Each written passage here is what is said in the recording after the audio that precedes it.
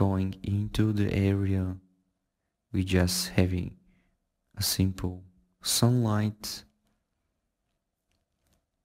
And we need to adjust further also additional light supporting light like V-Ray IES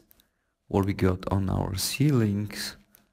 pointing to the bottom on the ground to our floors so we need to adjust also the V-Ray IES light settings.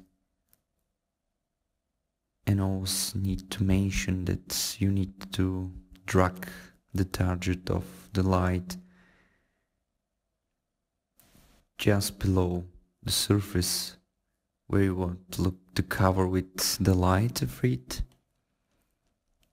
And to bring the simple preview by picking some of the presets that we got and you can download also for free additional to this scene so once when we have it we need to increase the power settings and you need to mention also that the power of the IES lines need to have numbers more than even 20,000 till you're getting nice result into your scene so that's how it looks and you can render simple range just to figure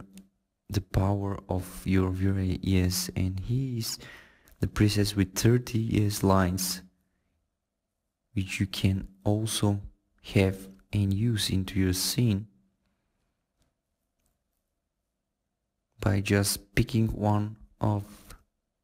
the presets and bring it over to your V-Ray IES light. So that's the final result just with light dropping on the floor and we going further